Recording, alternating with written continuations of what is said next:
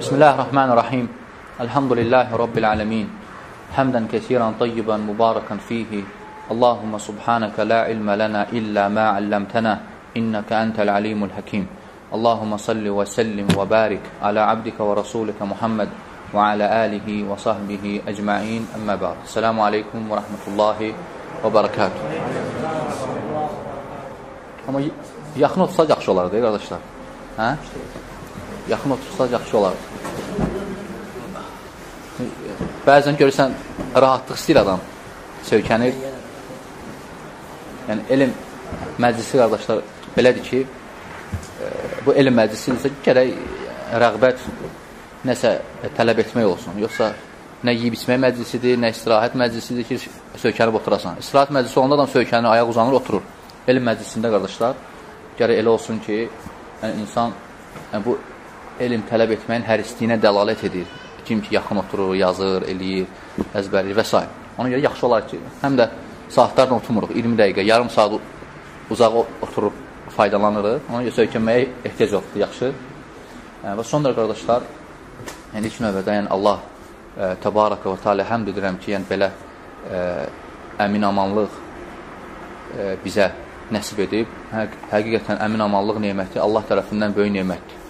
Əmin-amallıq neməti Allah tərəfindən böyük nemətdir. İnsan bunu itirəndə mahiyyətinə varır. İtirəndə hiss edir ki, nə qədər əmin, aman yaşayırdıq, indi indi isə yoxdur. Ona görə nə qədər ki, belə yəni, dinimizi e, təbliğ edə bilirik, insanları marifləndirə bilirik, örgənib örgədə bilirik, rahat ibadət edə bilirik, gərək bir o qədər də Allah Taalaya həmd edək ki, Allah Taala bu neməti bizə artırsın azaltmasın. Və sonra, və sonra qardaşlar, yəni xatırladıram ki, və daim dəstədə xatırladıram ki, hidayət neyməti Allah tərəfindən sənə verilən ən böyük neymətdir. Kim ki, İslamla hidayətlənib, hidayətlənib İslam neymətindən, gərək bunu daim yadında saxlasın ki, Allah tərəfindən sənə ən böyük neymət verir. Vallahi, daim qeyd edirəm məclislərdə, Məkkədə, Mədinədə, haramın yanında olan insanlar var, hansı ki, orada göz açıb, orada böyüyüblər, ibadət eləmirlər. Təsəvvür edirsiniz, Məkkədədir, haramın yanında, meçinin yanında evləri var. 30 il, il 50 il, həyat, 50 e, yaşındadır, soruşsan deyir, namaz qılmıram deyir. Yəni, sən hardan hara gör, Allah Teala sən hansı bir məkanda, hansı bir məntiqədə, harada sənə hidayət verib, yəni bu Allah tərəfindən böyük neymətdir. İnsan gərək bunu mütləq dəyərləndirsin. Dəyərləndirməsə, Allah Teala onu yəni ondan ala bilər. Yəni, dəyərləndirmək necə olur, qardaşlar? Yəni, insan yəni əslində sən dəqiq biləndən sonra ki, bu neyməti Allahdan başqa heç kim verə bilmir, bu neyməti Allahdan başqa heç kim verə bilmir və verən Allahdır və özünə baxır ki, özü də hidayət olunmayan Allah məni verib, Allah məni seçib, artıq insan bunu mütləq dəyərləndirməlidir ki, əldən çıxmasın. Yoxsa hidayət neyməti başqa neymətlər kimidir. Başqa neymətlərə şükür etməyəndə azalır, azalmır qardaşlar, azalır. Hidayət neymətini də şükürünü etməyəndə Allah Teala hidayət nemətini səndən alır. Yəni insan e, Allah təbaraka və teala xitab edir, buyurur ki: "Ya yuhannas, entumul fuqara'u ilallah." Ey insanlar, yəni e, e, baxsaz xitablara Quran-Kərimdə xitablar müxtəlifdir və görürsən Allah Teala bəzən iman əhlini çağırır. "Ya yuhallazina amanu" və bəzən deyir "Ya yuhannas" və bu xitabda da Allah Teala bütün insanlara xitab edir, deyir ki və bildirir ki Allah Teala "Ya yuhannas, entumul fuqara'u ilallah." Ey, ey insanlar, sizin hamınız Allaha möhtacsınız. Sizin hamınız Allaha fəqirsiz. Yəni, iman gətirənlər tək yox, tək möminlər yox. Bütün insanlar Allah Taalaya fəqirdir. Vallahu huval ganiyyul hamid. Allah isə zəngindir, heç nəyə ehtiyacı yoxdur. Yəni, insan, nəyə görə bu ayəni zikr etdim? Yəni, insan hiss etsə ki, Allaha möhtacdır və möhtaclığını biruzə versə, Allaha ən yaxın olan insan odur, qardaşlar. Yəni, mömin nə qədər ki, yaşadığı müddətdə Allaha olan zəlilliyini, möhtaclığını üzə çıxardarsa, bir o qədər də Allaha yaxın olar. Aydın oldu? Yəni, Allaha möhtaclığı, zəlilliyi insan necə çıxarda bilər üzə? İnsan namaz qılmaq, qardaşlar, ən bariz nümunəsidir qulluğun. Yəni, insan 5 vaxt namaz qılmaqla artıq görsədir ki, zəlildir Allaha. 5 vaxt namaz qılmaq, ona görə fikir verin, namazın əhkamlarına, formasına fikir versəz, görərsiniz ki, zəllillik əlamətidir hamısı. xuş, e, qiyamda dayanmaq, rüku, xüsusən səcdə, yəni səcdə Peyğəmbər sallallahu əleyhi və səlləm buyurur ki, Allaha qulun ən yaxın olan vaxt, qulun Allaha ən yaxın olan vaxtı səcdədə olan vaxtıdır. Ona görə səcdədə duaları çoxaldın. Ona görə Allah Taala bilib ki, qulları ona nə qədər möhtacdır, namazda səcdəni rükudan daha çox eləyib. Elə də elə deyil. Namazda səcdə daha çoxdur. Nəinki rükudan. Ona görə Allah Taala bilib ki, qulları möhtacdır ona, səcdəni artıq edib ki, qulları yalvarsınlar ona. Ona görə kim bu dünyada Allaha olan möhtaclığını, zəllilliyini çox görsədəcəksə, bir o qədər Allaha yaxın olacaq. Bir o qədər Allaha yaxın olacaq. Allah Taala səndən, məndən, hər birimizdən görmək istəyir ki, biz onun qarşısında nə qədər zəlilik. Yəni, zəlillik çıxmalıdır üzə. Zəlillik çıxartmalısan. Onun əmrlərini yerinə yetirib, qadağanlarından çəkinməklə. Baxın, deyəndə ki, müsəlmanam. Müsəlmanam, yəni nəyəm? Təslim olanam. Elə də elə deyil. Müsəlman sözünün mənası istisləm. Yəni, Allaha təslim olan, təslim olan, misal üçün, insanlardan misal çəkim, Allahın misalı daha ucadır. Bir insan əsir düşəndə, düşmənə təslim olanda, düşmən on, e, nə deyirsə, təslim olan insan edir, etmir. Yəni, bu deyil, mən artıq təslim olmuşam. Nə istəyirsən, eləyirəm. Təslim olub. Nə istəyir, elətdirir ona. Deyir, filan şeyi elə eləyir, filan şeyi etmə, etmir, filan şeyi elə edir. Artıq ona təslim olub. Yəni, təslim olmaq, sən Allaha təslim olmusansa, mütləq və mütləq Allahın dediklərini eləməlisən. Yoxsa, sən içki içirsənsə, sigaret çəkirsənsə, söyüş söyüş, Allah tala deyir, yalan danışma. Yalan danışırsansa, oruç tut, oruç tutmursansa, sən Allaha təslim olmusan, olmamısan. Allaha təslim olan mütləq Allahın, yəni sən Allaha təslim olmusan. Yəni Allahın dediklərinə, əmrlərinə boyun əymirsən və qadağanlarına çəkinmirsən. O mənadır. Yəni müsəlman sözün mənası odur. Yəni sən sınmısan Allahın qarşısında. Yoxsa ki, insan Allahın əmrlərini yerinə yetirmirsə, onun qadağan etdiyi şeylərdən çəkinmirsə, artıq onun təslimiyyəti, yəni təslim olması zəifdir. Ona görə Allah qatında insan qardaşlar heç surətinlə, zahiri görkəminlə, mal, mal dövlətinlə, var dövlətinlə uca olmur. Yəni insan bu dünyada hansısa bir hökümdarın, yəni padşahın yanına gedəndə insan nə formada gedir? Yəni insan zahirini düzəldir ki, yəni orada bir yəni naqislik görməsin. Geyinir, bəzənir, ətirlənir, ən yaxşı libasını geyinir, gedir padşahın yanına, misal üçün. Amma Allah yanına belə deyil, qardaşlar. Allah yanında, yəni insanlar, Allah Taala insanların zahirinə baxmayacaq. Biri ola bilsin şikəst olsun, biri ola bilsin bədəndən naqis olsun, biri arıq, biri kök, e, biri misal üçün ayaqları olmasın, biri zahirən eybəcər olsun. Allah yanında bu oynamır rol. Allah yanı Allah Taala nəyə baxır insanın? E, qəlbinə baxır qardaşlar. Ona görə Peyğəmbər sallallahu əleyhi və səlləm buyurur ki: "İnnallaha la yanzuru ila suvarikum və la əcsadikum." Allah Taala sizin cəsədlərinizə, surətinizə baxmır. "Velakin yanzuru ma fi qulubikum." Allah Taala sizin qəlblərinizə baxır. Ona görə Allah yanına səlim qəlblə getmək lazımdır, zahirən yox. Yəni insan zahirdə çox yəni gözəl ola bilər, hər bir şeyi normal ola bilər, lakin Allah yanında ən pis insan ola bilər. Allahın qəzəbinə gələn birisi ola bilər. Ona görə insan biləndən sonra ki, Allah Taala insanın qəlbinə baxır, mütləq insan öz qəlbini müalicə etməlidir ki, Allah sənin qəlb, yəni, qəlb qardaşlar Allahın baxdığı yerdir. Qəlb Allahın baxdığı yerdir. Əgər Allah o qəlbə baxırsa, deməli sənin qəlbində həsəd, kin, paxıllıq, şirk, asilik olmamalıdır. Allah Taala ora baxır. Ona görə insan bu dünyada qardaşlar mömin xüsusən daima fikirləşməlidir ki, necə Allahın yanında yaxşı olsun. Necə eləsin ki, bu həyatda Allah yanında hörmətli olsun. Bəzilərimiz, yəni çox təəssüflər olsun, kiminsə kimsə şan şöhrət sahibidir və ya var dövlət sahibidir, yaxınlaşır onun yanına. İstəyir onun yanında, onun yanında yaxşı olsun, onun yanında adsanı olsun, yəni, hörməti olsun. Əslində mömin, mömin qardaşlar, həqiqi İslam dinini başa düşən insan, Allahı tanıyan insan belə insanlardan uzaq olub Allahın yanında hörmətli olmağa çalışmalıdır. Sənin bütün himmən, rəğbətin, bu dünyada istəyin nə olmalıdır? Necə edim ki, yaşadığım müddətdə Allah yanında yaxşı olum. Allah yanında xeyr, Allah yanında hörmətli olum, Allah yanında qiymətli olum. İnsan bunun üzərində çalışmalıdır və bunun yeri birdir, qardaşlar. Ona görə Allah təbaraka və teala buyurur ki, İnnəmə əkraməkum indallahi ətqakum Sizin ən hörmətliniz Allah yanında kimlərdir?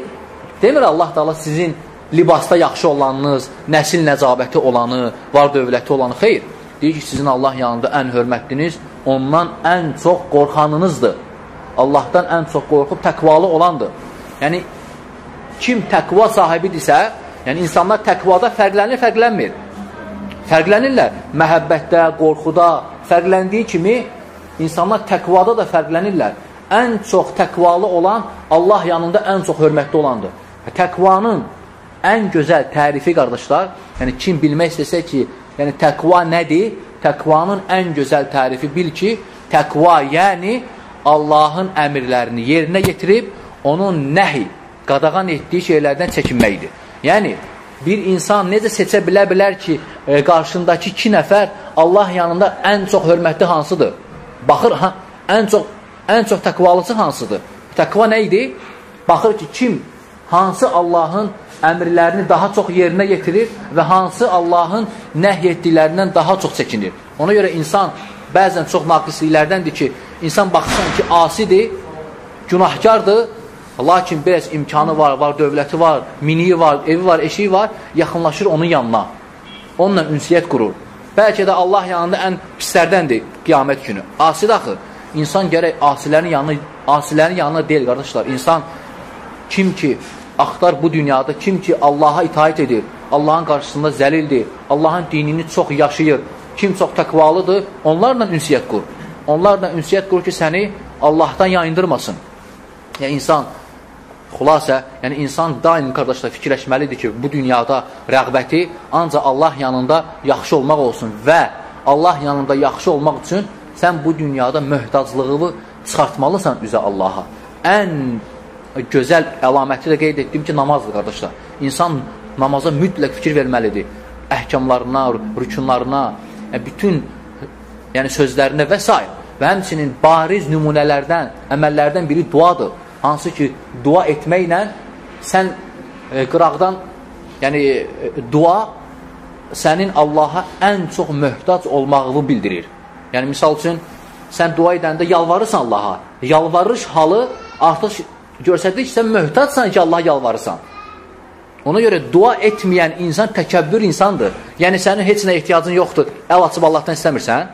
Dua etməyən insan əzvərin, dua etməyən insan təkəbbürlü insandır. Yəni, bir növ ehtiyacı yoxdur heç nəyə. Allaha ki, əl açım dua eləyim. Ən çox dua eləyən, yəni duanı çox edən insan bil ki, Allaha möhtaclığını çox bildirən insandır. Kim çox dua edir, artıq qıraqdan görsənir ki, nümunədir ki, dua edən bu gör nə qədər Allaha ehtiyacı var bunun. Nə qədər möhtacdır ki, gecə gündüz yalvarır Allaha.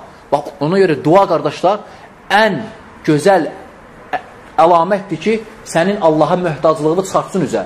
Dua etməyən insan Allahdan uzaq olan insandır. Ona görə Peyğəmbər sallallahu əleyhi və səlləm buyurur ki, "Əd-duau huvel-ibadə." Dua ibadətdir deyir Peyğəmbər sallallahu əleyhi və səlləm. İbn Abbas radiyallahu anh sahabelərdən deyirdilər ki, dua ibadətdir. Yəni, dua ən əfsəl ibadətdir. Yəni, dua etməklə insan ən əfsəl ibadətə, ibadətə çatmış olur. Ona görə Allah Taala qulundan görmək istədiyi şeylərdən biri də qulunun ona yalvarmasıdır.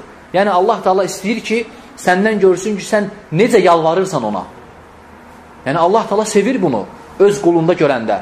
Allah Taala sevir ki, sən ona necə yalvarırsan və çox istəyir ki, sən ona dua edəsən. Ona görə buyurur ki, Allah Taala: "Və qala rabbukum ud'uni astecib lakum." Rəbbiniz buyurdu ki, mənə dua edin, mən də sizin duanıza cavab verim. İnnellezina la yestekbir innellezina yestekbiruna an duaihi kim ki e, Allaha dua etməyi özünə sığışdırmırsa, Yəni kim ki Allaha dua etməyi özünə sığışdırmayıb, təkəbbürlü edib Allaha dua etmirsə, onlar cəhənnəmə daxil olacaqlar. Onlar cəhənnəmə daxil olacaqlar. Burada bir incə məqam burasındadır qardaşlar. insan Allaha dua etməməklə, Allaha dua etməməklə cəhənnəmə düşmək olur. Allaha dua etməyi özünə sığışdırmır insan. Bununla cəhənnəmə, cəhənnəmi qazanmaq olursa, görün Allahdan başqasına dua etmək nə qədər şiddətli bir şeydir.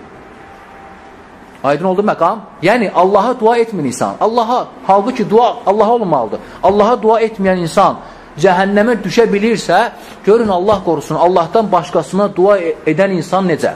Allahdan başqasına dua edən ona görə layiqdir ki, əbədiyyən cəhənnəmdə qalsın. Ona görə duanın şəni böyükdür, qardaşlar. İnsan Allah qorusun 50 il ibadət edə, 50 il ixlasla Allah ibadət edir və ölümünə yaxın sonda bir kəlmə desə ki, ya Hüseyin, ya Ali və ya fərqi yoxdur, ya filan kəs, mənə övlad ver və ya hər hansı bir şey, bütün əməlləri zay olur. Bir dənə dua ilə bütün əməli zay olur və əbədiyyən cəhənnəmə gedir insan. Ona görə insan, yəni duanın mahiyyətinə fikir verməlidir. Allah da Allah qardaşlar sevir ki, səndən ona yalvarma halını görsün. Ona görə duanın qəbul olunmasının əlamətlərindən də biri odur ki, yəni insan necə bilə bilər ki, və ya insan necə edə bilər ki, duası qəbul olsun. Ən böyük əlamətlərindən biri duanı çoxlu eləməkdir, qardaşlar. Yalvarmaq halına gəlsin, çatsın. Yəni insan yəni Allahdan nəsə istəyəndə bir dəfə istəməsin. Misal üçün, bağışlanmaq istəyirsə, Allah məni bağışla, qutardı. Bir dəfə istəməsin. 10 dəfə, 15 dəfə, 20 dəfə. Niyə? Hətta yalvarmaq halı alsın deyə. Yəni, sənin duan, insan duanı çox edəndə artıq zəlilliyi çıxır üzə. O bir dəfədən sonra çıxmır üzə. Misal üçün, mən səndən bir şey istəyəndə, bir dəfə istəyəndə insan bezdirici olmur. Bir neçə dəfə istəyəndə səndən ki, ver mənə, ver mənə, artıq sən deyirsən ki, əl çək məndən, al bunu, verdim sənə. Yəni insan o haçın olur? 15 dəfədən sonra. Allahın misalı daha ucadır. Ona görə, yəni sən insanlarda insanlar çox istəyəndə bezir, amma Allah Taala'dan çox istəyəndə bir o qədər Allaha yaxın olursan. Yəni vallahi Allahın mülkü qutarmır qardaşlar. Ona görə insan bütün e, e, birinci və sonuncu insanlar hamısı yığılışsa və eyni anda Allahdan nəsə istəsələr, hərəsi bir şey müxtəlif bir şey istəsələr və Allah Taala onların istəyini versə, hamısına Allahın mülkündən nəsə azalır, azalmır. Azalmır, qardaş. Peyğəmbər sallallahu əleyhi və səlləm misal çəkir ki, iynə bir dənizə salıb çıxardanda nə qədər su qaldırır? Heç nə, qardaş da deyir, bir o qədər də azalmır deyir. Zərrə qədər də azalmır Allah Taala'nın yəni mülkündən. Ona görə Peyğəmbər sallallahu əleyhi və səlləmin yəni çəkdiyi misallara fikir versə, yəni Peyğəmbər sallallahu əleyhi və səlləm bildirmək istəyib ki, Allahın mülkündən heç nə azalmır. Hamısının istədiklərini versə, yenə Allahdan heç nə azalmır. Ona görə qardaşlar, insan namazdır, duadır və s. əməllərdir, etməlidir ki, izzətlənsin və Allah yanında hörmətli olsun. Vallahi salih əməllər qardaşlar, nə ki salih əməl var, nə ki itaətdir, səni yaxınlaşdırır Allaha bu dünyada və axirətdə sənin izzətindir qardaşlar salih əməl, izzət. Vallahi, bu dünyada fərq hiss olunur. O ki, qaldı axirətdə. Misal üçün, sən bir qardaş gedir meçidə. Bir qardaş gedir meçidə və yolda e, bir insan saxlayıb bunu soruşur ki, hara gedirsən? Və sən başı dik, yəni başını yuxarı tutaraq, yəni heç bir eyb duymadan deyirsən ki, mən gedirəm meçidə Allahın evinə. Elə də elə deyil. Heç bir utanmaq da olmur səndə. Mən gedirəm meçidə Allaha ibadət etməyə. Rahatlıqla. Amma bir insan ki, nəuzu billahi min zəlik, gedir bara və ya fahişixanalar hansınasa və yolda bir insan onu tutub saxlayanda, deyəndə ki, hara gedirsən? O başı dik, başı yuxarı sənə söyləyə bilərmi ki, mən gedirəm fahişixanaya? Yox, qardaşlar. Heç var. Hətta bəziləri gizlənə-gizlənə gedir ki, yolda heç kim saxlamasın, ayıbdır, utanır. Elə də elə deyil. Yəni, bu bu dünyada fərq hiss olunursa, yəni salih əməl izzətdir sənin üçün. Gör, axirətdəki fərq daha böyükdür, qardaşlar. Yəni, heç vaxtı əməl edənlə əməl etməyən bir ola bilməz, qardaşlar. Ona görə itaət bu dünyada izzətindir sənin. Allah da Allah səni bu dünyada itaətindən izzətləndirir və qiyamət günü də sən e, Allaha yaxın olan insanlardan olacaqsan. Nə səbəbi ilə itaət etdiyin üçün. Ona görə insan daim çalışmalıdır ki, Allah da Allah itaət eləsin. Daim, hətta xırda əməl olsa belə. Sən baxma əməl bəzi qardaşlar, yəni naqisliklərdən elə hesab edirlər ki, e, və ya arzuluyurlar ki, həcc edin, ümrə edin və s. böyük əməllər. Və böyük əməllər arzusunu edir və arzusunda qalır. Nəticədə xırda əməllər tərk edir. Yəni insan baxmamalıdır. Yəni sən qardaş, ona görə Əli ibn Əbi Talib radiyallahu anhu deyirdi ki, "İnnallaha əxfəsnəteyni fisnəteyn." Allah Taala iki şeyi iki şeyin içərisində gizlədib. Allah Taala iki şeyi iki şeyin içərisində gizlədib. Allah Taala öz övliyalarını qullarının içərisində gizlədib. Yəni sən elə bir insanla qarşılaşa bilmərsən ki, deyəsən ki, bu Allahın dostudur. Heç vaxt. Yəni sən qulların, insanların içərisində bilə bilmərsən ki, hansı daha çox Allaha yaxındır. Elə də elə deyil. Hardan biləsən, qardaş? Heç vaxtı insan, hər kəsin öz Allahla arasında rabitəsi var, səmimiyyəti var, ixlası var. Yəni zahirən dilənçi olsa belə, zahirən, yəni miskin olsa belə, sən bilə bilmərsən ki, onun məqamı Allah yanında hardadır. Ona görə Allah Taala öz övliyalarını qullarının içərisində gizlədir. Və həmçinin Allah Taala ikinci gizlətdiyi şey Allah Taala öz rizasını, razılığını əməllərin içərisində gizlədib. Yəni, sən bilmirsən ki, hansı əməldən sonra Allah səndən razı qalacaq. Aydın oldu? Yəni, sən bilmədiyin halda nə fərqi var ümrə etdin, həcc etdin, cihad etdin və ya hansı başqa əməl etdin. Sən nə bilirsən hansından sonra Allah səndən razı olacaq. Ona görə xırda əməldə olsa belə, yüngül, aşağı bir əməl olsa belə sən etməlisən ki, bilmirsən Allah sana razılığı hardadır. Bəlkə sən elə adi duha namazını qılanda iki rükət Allah, Allah Taala o namazdan sonra səndən razı qaldı. Nə bilərsən? Ona görə bu sənə öyrədir ki, nə qədər əməl varsa gərək heç birini tərk eləməyəsən. Xırdadır, asandır, yüngüldür deyə tərk eləməyəsən qardaşlar. Allah Taala e, o əməllər ki, səni yaxınlaşdırır Allaha mütləq onlar hamısını eləmək lazım. Mütləq onların hamısını eləmək lazım. Və sonra Yəni, insan e, Allahın yanında hörmətli olması üçün, qardaş, yəni bu ən böyük məqamdır, qardaşlar. Ona görə bunu yəni, qeyd edirəm ki, agah olasınız. Yəni, insan bu dünyada bundan böyük şey yoxdur. Allahın səni sevməsindən. Bütün mömin, bütün mömin istəyir ki, Allah dalan sevgisini əldə eləsin. Elə də elə deyil. Hansı, hansımız istəmirik? Hamımız istəyirik. Allah dalan sevgisinə nail olan insan, Allah, qiyamət günü o toxunmayacaq ona qiyamət günü o toxunmayacaq o insana ki, Allah tala onu sevir. Deməli, iş belədirsə, sən bacardığın qədər çalışmalısan ki, axtarasan Allahın sevgisi hardadır, Allah nəyi sevir? Ona görə qeyd etdiyim ki, Allahın sevgisi o insanın üzərindədir ki, Allah da sevir o insanı ki, o insanın zəllilliyi, möhtacılığı daha çox çıxır üzər. Zəllilliyi, möhtacılığı daha çox çıxır üzər. Allah da o insanları sevir. Allah da baxır qullarına və hansı Allaha, aleyküm salam, daha çox ehtiyacını bildirirsə, çıxardırsa, o Allah yanında ən hörmətli insandır. Və Allah sevgisini, Allah talan sevgisini əldə eləmək üçün, qardaşlar, ən böyük məqam bu dünyada Allahla sadiq olmaqdır. Aşkarda və xəlvətdə. Aşkarda və xəlvətdə Allahla sadiq olmaq. Ona görə Allah Taala möminlərə xitab edərək buyurur ki: "Ya eyyuhellezine amenu ittaqullaha və kunu ma'as sadiqin." Ey iman gətirənlər, ittaqullah Allahdan qorxun və kunu mə'as sadiqin və sadiqlərdən olun. Yəni sadiqlərdən olun kəlməsi. Ona görə sələflərdən biri buyurur ki, Allah Taala Quranda tək bu ayəni nazil etsəydi, bəs edərdi bizə. Tək bu ayəni nazil etsəydi, bəs edərdi bizə. Yəni qiyamət günü nicat tapanlar sadiqlər olacaq. Bax bu sadiqlik, yəni səmimiyyət, e, münafiqlik yox, sadiqlik məhz sənlə münafiqi ayırır. Müsəlmanla münafiqi ayıran sadiqlikdir. Yəni Yəni, insan sadiq ola bilər, qardaşlar, cəmaat içərisində, aşkarda baxırsan ki, sadiqdir, cəmaat namazına gedir və s. Yəni, qardaşların içərisindədir. Amma ən çətin məqam hansıdır? Xəlvətdə sadiq olmaq. Görürsən, insan, e, sigaret çəkməyən insan qardaşlar içərisində çəkmir, xəlvətdə qalanda çəkir. Nə yoxdur? Sadiqlik yoxdur Allahla. Ən çox həya olunmağa layiq olan gərək Allahdan həya Allah dala daha çox layiqdir ki, ondan həya olunsun. Elə də elə deyil, qardaşlar. Yəni, sən kimdənsə həya edib, hansısa günahı eləmirsənsə, amma Allahdan həya etmirsənsə, Allahi müsibətdir, qardaşlar.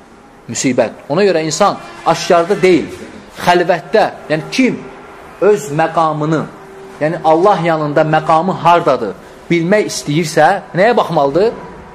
Xəlvətdə Allahla sadiqliyinə xəlvətdə Allahla sadiqliyinə. Bax, belə sənin ixlasın ölçülür. Yəni, insan baxırsan ki, xəlvəti yoxdur, əvuz billah, yoxdur xəlvəti. Xəlvətdə heç eləməyib. Nə edir? Aşkarda eləyir. Və ya xəlvəti bərbaddır. Xəlvəti bərbaddır. Söyüş söymür cəmaat içərisində, xəlvətdə qalanda söyüş söyür. Və ya misal üçün, günah eləmir cəmaat içərisində, xəlvətdə qalanda günah edir. Yəni, insan, yəni qardaşlar, həya, yəni Allahdan həya eləmək daha layiqdir. Allahdan həya eləmək. Ona görə bu insan, xəlvətdə sadiq olmayan insan Allahı tanımayan insandır. Ona görə Allahı tanıyan insan, həqiqi mənada Allahı tanıyan insan təklikdə də qalanda mütləq və mütləq özünü yığışdırar. Nəyə görə? Çünki sən sən heç kimin gözündə yaxşı olmağa çalışma, qardaş. Heç kimin gözündə. Yəni, bəzilərimiz filan kəsin yanında yaxşı olmaq istəyirik, filan kəsin yanında, filan kəsin yanında söyüş söymürük, filan kəsin yanında yığışdırırıq özümüzü. Yəni, Allah yanında yaxşı olmaq lazımdır. Allahın gözündən düşən insan həlak olacaq qiyamət günü. Ona görə sənin bütün rəğbətin, bütün istəyin Allaha təzim eləmək olmalıdır. Yəni, xəlvətdə olanda asili eləmə Allaha. Xəlvətdə olanda asili eləmə, qardaşlar. Mən daim misal çəkirəm. İnsan necə bilə bilər ki, xəlvətində səmimidir? Necə bilə bilər ki, ixlaslıdır Rəbbinlə? Misal üçün, gedirsən maşındasan. Gedirsən maşındasan. Və maşını sürürsən və arxada da oturub qardaşlar. Və yolda bir naməhrəm qadın keçdi qarşından. Və sən qardaşlardan utandın, baxmadın ona. Ayıbdır. Nə deyərlər sənə? Elə də elə deyil. Utandığından baxmadın. Və sonra gələn dəfə tək gedəndə, maşında, yoldan naməhrəm, naməhrəm qadın keçəndə baxdın, ələm çönüb, arxasınca da baxdın ona. Heç kim yoxdur axı. Xəlvətdəsən. Bu məqamda sənin Allaha olan imanın çıxır üzə, qardaşlar. Bu məqamda sənin Allaha olan ixlasın çıxır üzə. Var, yoxdur. O məqamda insan bilir. Yoxsa cəmaat içərisində ibadət eləmək asandır. Misal üçün, e, ona görə Peyğəmbər sallallahu aleyhi ve sellem bildirirdi ki, münafiqlərə ən ağır gələn namaz sübh namazının işə namazıdır. Yəni, sübh namazı, yuxunun şirin vaxtı kim istəyər qalxıb gəlsin meçidə? Salih, sadiq, ixlaslı olan insanlar, xuşulu olan insanlar istəyər. Münafiqlər istəməz. Ona görə sübh namazına iştirak eləmirdilər. İşə namazına iştirak eləmirdilər. Ona görə insan bilmək istəsə ki, bəzən görürsən, qardaşlar eşidir ki, yəni bu ixlasın əlamətidir. Yəni bu, yəni əgər bu ixlasdırsa, mən eləyərəm bunu. Nə var, eləyərəm. Və Allahdan istəyir bunu. Allah da bunu imtihan eləsin bu əməllə.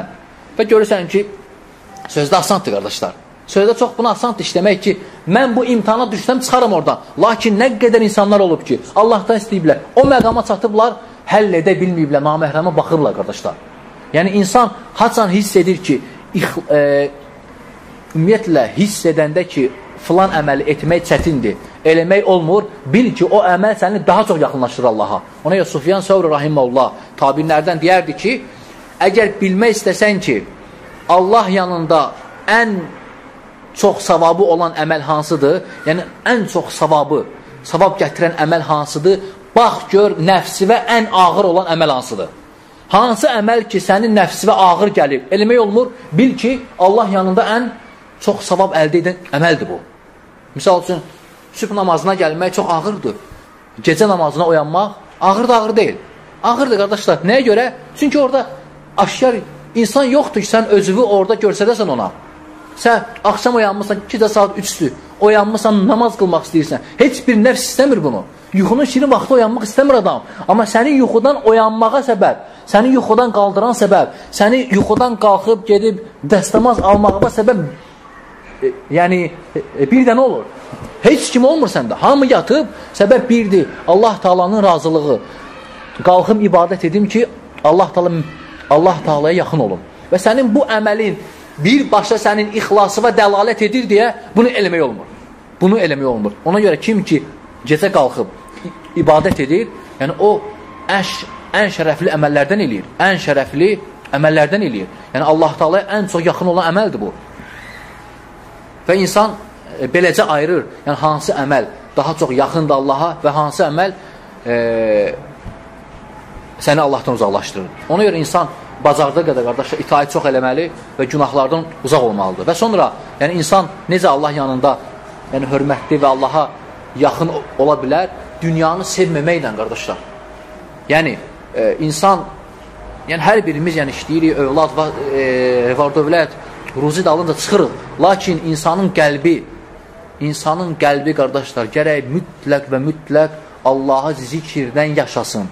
Nə işləsən də harda olsan da, nə işin dalınca getsən də, mütləq gərək dilin Allah Taala'nı zikr etməkdən dayanmasın. İnsan dünyaya bağlananda artıq zikri də unudur, axirəti də unudur və s. hər şeyi unudur. Yəni bir şeyi yadda saxla ki, Allah Taala Qurani Kərimdə dünyanı məzəmmətləyib qardaşlar. Yəni dünyanı o qədər pisləyib ki və bildirib ki, sənə bu dünyanın arxasınca getmək olmaz. Bu dünyada olanlar hamısı bərbəzə idi, hamısı Yəni bu dünyanın naz neməti fanidir, gedəndir qardaşlar. Ona görə yəni yox olan bir şeyin ardınca ağıllı insan getməz qardaşlar.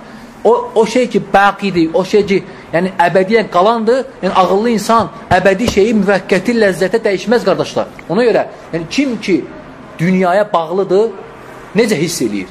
Yəni necə hiss eləmək olar ki, mən dünyaya bağlıyam, yoxsa dünyaya bağlı deyiləm? Bu çox asandır. Bax, əgər 24 saat ərzində sənin məşğuliyyətin axirətlə çoxdur, yoxsa dünya ilə. Və belə fərq çıxır üzə qardaşlar. Baxırsan, öz həyatı, hər kəs öz həyatını gedişatına bələddir. Baxırsan ki, sənin axirətlə məşğuliyyətin daha çoxdur, yoxsa dünya ilə məşğuliyyətin. İndiki müsəlmanlara baxanda dünya ilə məşğuliyyət daha çoxdur. Baxırsan ki, yəni on, 24 saatını, 18 saatını, 15 saatını 10 saatını dünya ilə məşğul olur. Allaha axirətlə məşğul olmaq qalmır orada heç nə. Və qalır 2-3 saat vaxtı qalır, gedir onda yatır qardaşlar. Dincəlir. Və, və belə nəticədə baxırsan ki, bir həftə ərzində bir dəfə Quran oxumayıb. Baxırsan ki, bir həftə ərzində yəni Allaha yaxınlaşdıran əməlləri çox azdır. Ona görə Peyğəmbər sallallahu əleyhi və səlləm dua eləyirdi ki, Allahumma la tec'alid dunya ekbara hammina. Peyğəmbər sallallahu əleyhi və səlləm duası idi. Ey Allahım, dünyanı mənim üçün e, yəni dərd eləmə. Yəni mənim dərdim qoy dünya dərdi olmasın. Yəni insan bəzən çox təəssüflər olsun ki, müsəlmanlar bu gün yəni 15 manat var gündəlik. Səhərsi gün 10 manat olanda dərdə düşür. Və ya misal üçün İndi hal-hazırda bu nemət var, yox olanda dərdə düşür. Və ya misal üçün, lab bədbəxtçilik orasındadır ki, bugün hansısa futbol komandası Barcelona uduzdu, uduzanda da insan dərdə düşür. İndiki müsəlmanlar, cavanlar dərdə düşürlər. Hətta vallahi bəzən qardaşlar gecə yata bilmirlər dəhşətdən, narahatdır. Uduzub istədiyi komanda. Yəni bunun dərdinə, bunun himməsinə baxsan, müsəlmanın himməsinə bax. Yəni E, belə qardaşlar, yəni Allaha yaxın olmaq olmur. İnsanın himməsi. Sənin dərdin axırıncı dəfə haçan dərdin olub ki, bugün sübh namazına qalxıb gedə bilməmişəm, narahat içindəsən. Heç vaxtı qardaşlar. Heç vaxt olmayıb səndə. Bugün Quran az oxudum. Yəni səni axirətlə, axirət dərdi bu olmalıdır. Dünya dərdi isə bu. Ona görə insan, indiki müsəlmanlar narahat olmur. Misal üçün, axirətdən nə isə itirəndə, amma dünyadan hansısa bir pay itirəndə görürsən sıxıntı, üzülür. Yəni, əldə etməliydim, əldə edəmədim. Amma axirətlə, misal üçün, bugün sübh namazına iştirak eləməliydim, eləmədimsə, heç ruhu da incimir. Ruhu da incimir. Misal üçün, işə namazına gəlməyəndə ruhu da incimir. Yəni, hansısa fərz namazları, dünya onu saxlayanda fərz namazlarının ruhu da incimir, qardaşlar. Ona görə Allah təbarəqə və teala bizə öz mübarək kitabında bildirib, Yə yuhəllədinə əmənu Lə tulhikum əmvalukum və lə əvladukum an zikrillah Ey iman gətirənlər, sizin övladınız, var dövlətiniz sizi Allaha zikirdən yayındırmasın. Nə badə? Allaha zikirdən bütün təfsir alimləri bildirib ki, yəni 5 vaxt namazdan yayındırmasın sizi. 5 vaxt namazdan yayındırmasın. Amma indiki işlər, indiki dünya işləri elə qurulub ki, səni 5 vaxt namazlardan yayındırır. Görürsən, naqisliklərdən hansısa bir qardaş işə namazı vaxtı uşağını parkda gəzdirir övlad yayındı, yayındırdı, yayındırmadı səni fərzə. Yayındırdı. Ona görə insan qardaşlar bu dünyada Allah Taala'nın istəyini, Allahın istəyini hər şeydən qabağa çəkməlidir. Öz nəfsi istəklərindən qabağa çəkməlidir. Birinci qoy Allah Taala'nın istəyi olsun.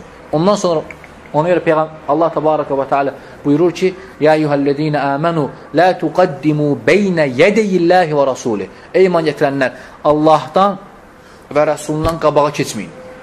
Ona görə, yəni Allahın və Rəsulunun istəyini başqa şeylərdən arxaya salma ikinci növbəyə.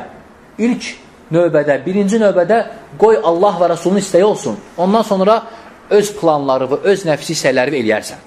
Aydındır? Ona görə dünyaya bel bağlamaq, qardaşlar, dünyaya bel bağlamaq bildirib Allah Taala innəməl hayatud dunya la'ibun və lahu.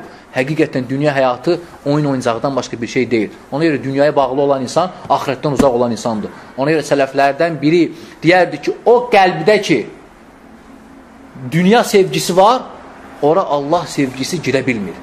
Yəni, bir qəlbdə ikisi də yerləşə bilmir, qardaşlar. Ya sən Allahı sevməlisən, ya da dünyanı sevməlisən. Yəni, indiki müsəlmanlar, yəni çox təəssüflər olsun ki, yəni dünya sevgi, sevgisi daha çoxdur. Hardan aşkar olur? Əməllərindən, həyatdan, hamısı aydındır. Yəni, dünyanın dalınca daha çox axırıq. Dünyanın dalınca, yəni, yəni daha çox yəni, sövq edirik nəinki axirətdən. Ona görə, qardaşlar, insan yəni, əgər Allahın məhəbbətini istəyirsə, mütləq Allah Taalanın əmrlərinə tabi olmalıdır və onun yəni, nəhy etdiyi şeylərdən çəkinməlidir, uzaq olmalıdır. Və sonra, yəni Allahın səndə görmək istədiyi ən böyük əməllərdən Allah haqqında daima, qardaşlar, Allah haqqında daima gözəl zəndə olmalısan. Yəni, sən möminsən, yəni biz möminik, qardaşlar, müsəlmanıq. Bilirik ki, e, nə baş verirsə həyatda hamısını edən Allah Taaladır. Elə də elə deyil. Bu etiqadımızdır bizim. Bu bizim etiqadımızdır ki, nə baş verirsə edən, idarə edən Allah Taaladır. Deməli, əgər Allahdırsa hər şeyi idarə edən, nə badə hansısa dünyada baş verən şeyə etiraz edəsən, qardaşlar. Kimə etiraz edirsən? Allaha. Ona görə, yəni Allah Taala misal üçün sənə sevimli övlad veribsə, övlad verə bəxş edən Allahdır. Allah Taala veribsə və bir vaxt sənin sevdiyin övladı və əlindən alıbsa, sən nə badə Allaha şikayət eləyəsən? Niyə aldın, almamalıydın və şikayət, etirazlar nə badə? Edən, öldürən, həyat verən Allahdır, qardaşlar. Ona görə insan daim gərək müsəlman Allah haqqında husnu zəndə ola, hər şeydən Allahdır, qardaşlar. Nə badə su zənn eləyəsən Allaha. Pis zəndə olasan, misal üçün, ruzi verən Allahdır. Yedizdirən Allahdır, içizdirən Allahdır. Əgər iş belədirsə, yedizdirən, içizdirən Allahdırsa, bugün ruzim var, sevinirəm, deyirəm ki, ruzi verən Allahdır, həmd eləyirəm, sabah ruzi kəsiləndə Allaha şikayət etməyəsən. Ruzi verən Allah idi, saxlayan da Allahdır. Bəzən Allah da insanın ruzisini gecikdirir. Lakin insan Rəbbi barəsində suizən nedir? Gedir görürsən, haram əl atır, faizə əl atır. Ruzim deyir ki, ruzim biraz daralıb, yoxdur ruzi deyir. Və gedir haramla başlayır ruzi əldə eləməyə. Nəyə görə? Rəbbi tanımır ki, yəni insanın Rəbbi, Rəzzaq Allahdır, ruzi verən Allahdır. Ona görə insan heç vaxt gedək Allah haqqında su üzəndə olmasın, qardaşlar. Və sonra yəni ən böyük fəlakətlərdən biri, yəni həlak olmağın əlamətlərindən biri qardaşlar. Yəni bunun da yəni sonuncu, yəni bunu xatırladım inşallah. Bu dünyada ən böyük bəla qardaşlar, ən böyük cərimə, ən böyük bəla Allaha cürət etməkdir qardaşlar. Allaha cürət etməkdir. Yəni açıqlayım. İzah edəcəm aydın olacaq inşallah. Necə insan Allaha cürət edə bilər? İnsan misal üçün Misal üçün, Firon. Firon e, bilirdi ki, məxluqdur. Elə deyil, elə, elə deyil. O bilirdi ki, Allah deyil. Bilirdi ki, yaradımlıq. Yəni, haçansa yox idi, var olub bu. Lakin bunu bilə-bilə Firon deyirdi ki, Ənə Rabbukumul ələ. Mən sizin uca Rəbbinizəm. Hə? Bax, bu Allaha cürət eləməkdir. Yəni, insan bilə-bilə Allaha cürət edir. Yəni, bilə-bilə Allaha cürət eləmək. İnsan, misal üçün, evdən çıxır və niyyət eləyib ki, gedirəm filan günahın dalınca. Niyyət eləyib ki, gedirəm filan günahı etməyə. Niyyətlənib evdə. Və Allah Taala evdən çıxanda bunun xatirinə salır, yadına salır ki, Allahın nəzarətindəyəm. Yəni, bəzən insan günah edəndə unudur, qardaşlar. Günahdan sonra xatırlayır ki, Allah ta mənə baxırdı. Görürdü Allah Taala. Olur, olmur. Olur, qardaşlar. İnsan günah edəndən sonra ayılır əstəğfurullah eləyir. Və bəzən də insan günah etməmişdən qabaq Allah Taala bunun yadına salır ki, o səmiundur və, və basirundur. Görür və eşidir. Və bu yadına düşəndən sonra o niyyətindən qalmır. Niyyətini saxlamır. Yəni əslində saxlamalı idi. Lakin saxlamır, çıxır evdən. Və gedir günahın dalınca və oturur maşına, misal üçün. Oturur maşına və maşında da yenə bu insan xatirinə gəlir ki, Allah təala bəsəyə baxır. Səni görür aləmlərin Rəbbi. Yəni, bu da saxlamır bunu. Yenə gedir o günahın ardınca. Və belə Allaha cürət edir, qardaşlar. Yəni, artıq yəni, e, bu həlak olmağın əlamətidir. Həlak olmağın, yəni səni artıq heç nə saxlamır o günahdan. Var Bu cür günah eləmək var misal üçün. Sən niyyət eləmirsən, gedirsən məscidə misal üçün hansısa bir xeyir məclisə və evdən çıxanda sığınmısan Allaha.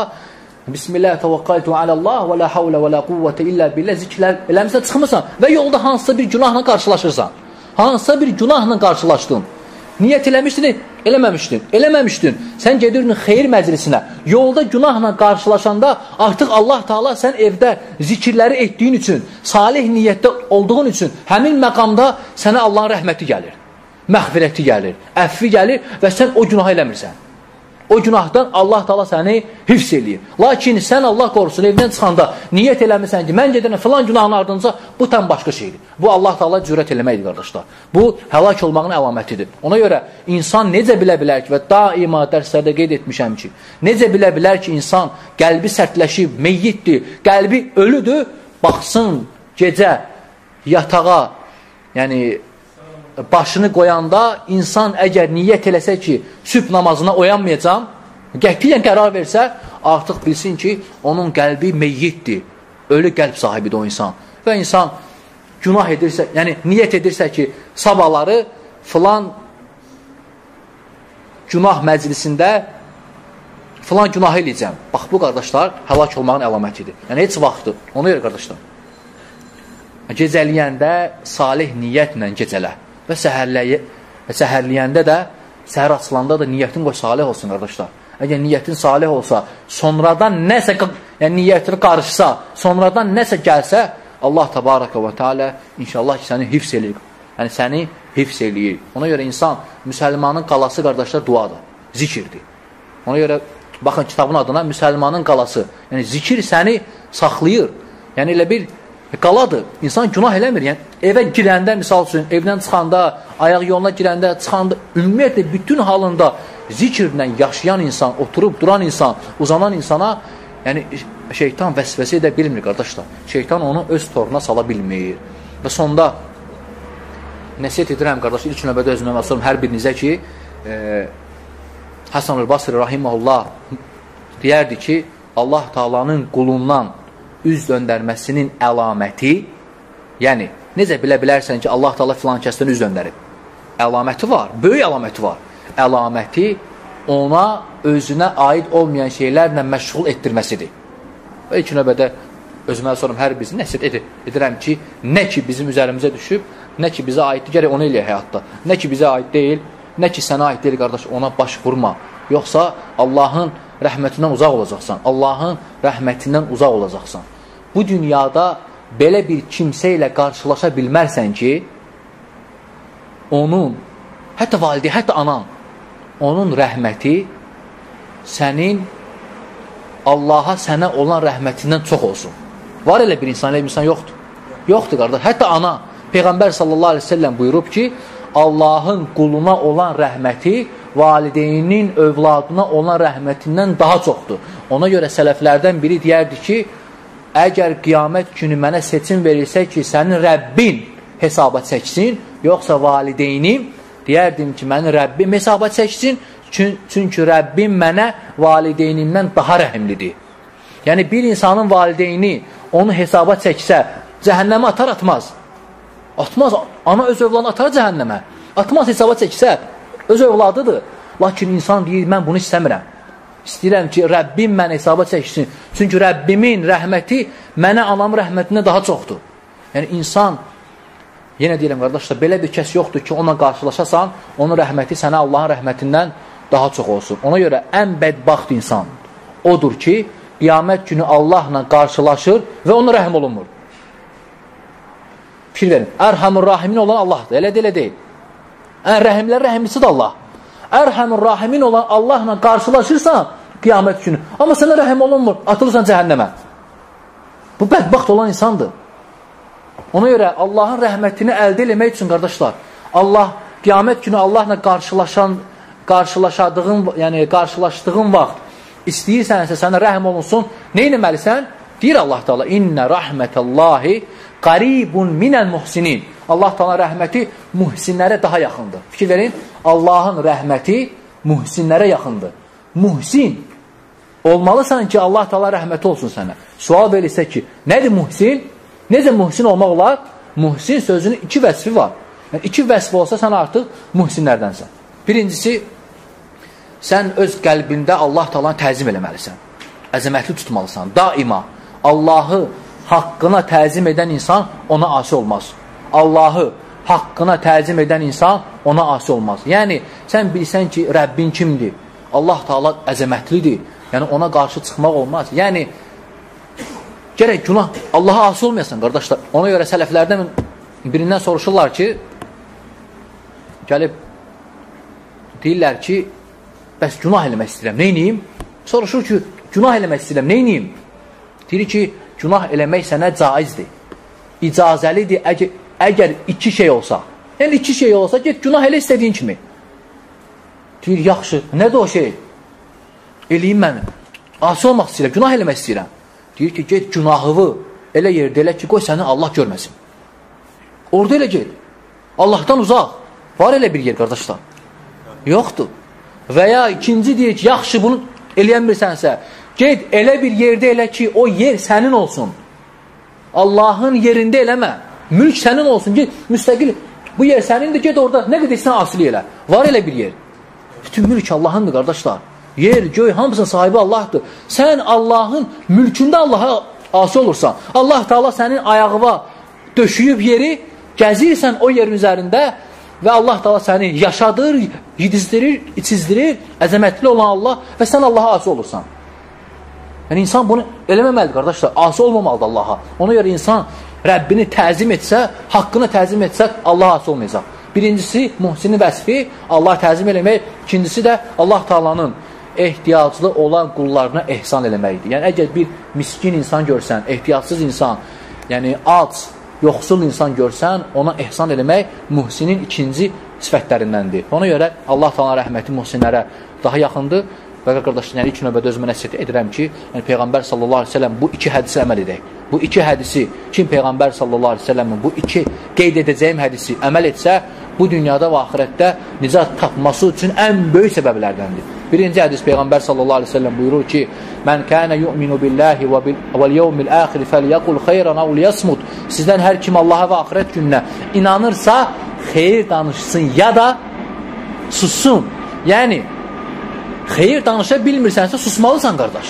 Bax bu Peyğəmbər sallallahu əleyhi və səlləmin hədisini unutma və daim əməl elə. Və ikinci Peyğəmbər sallallahu əleyhi və səlləm buyurur ki: "Min husnul islamil mar tərkuhu ma la yani." Müsəlmanın gözəlliyi müsəlman kəsin gözəlliyi ondadır ki, yəni sənin gözəlliyindəndir ki, özünə aid olmayan şeylərə qarışmırsan.